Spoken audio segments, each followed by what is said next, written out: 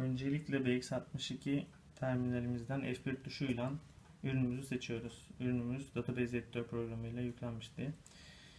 Ürünümüzün adı, ortalama parça ağırlığı ekranda geldi.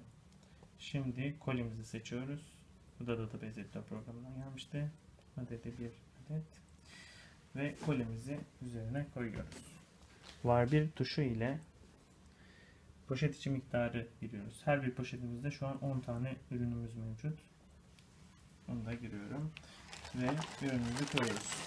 10 poşet, her bir poşette de 10 ürün kolimin içine yerleştiriyorum. Gördüğünüz gibi 100 adet ve poşet adedi de 10.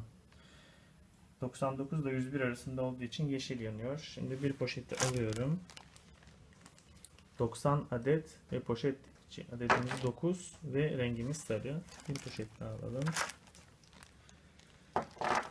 8 poşet 80 adet.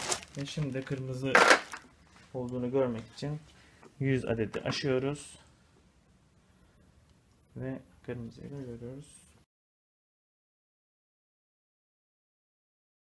Ürünlerimizi adıyla, koduyla, ortalama parça ağırlığıyla, minimum ve maksimum adetleriyle e, tanımlamak ve kolilerimizi tanımlamak için Database Editor ücretsiz yazılımımızı açıyoruz.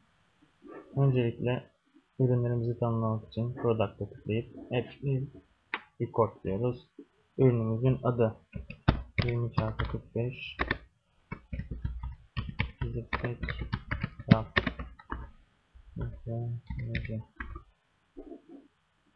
Ürünümüzün kodu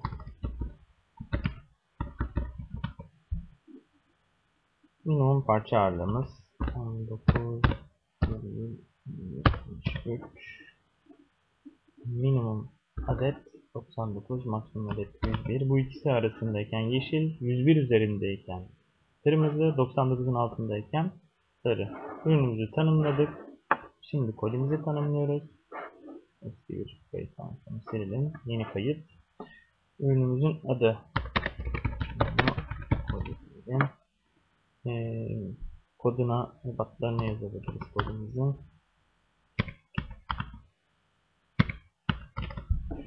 Konumuzun ağırlığı da 422.3 Bitti. Şimdi upload wave to scale dediğimiz zaman bütün bu yazdıklarımızı, girdiğimiz kayıtları terminale yüklemiş oluyoruz. Şu an kayıt başladı.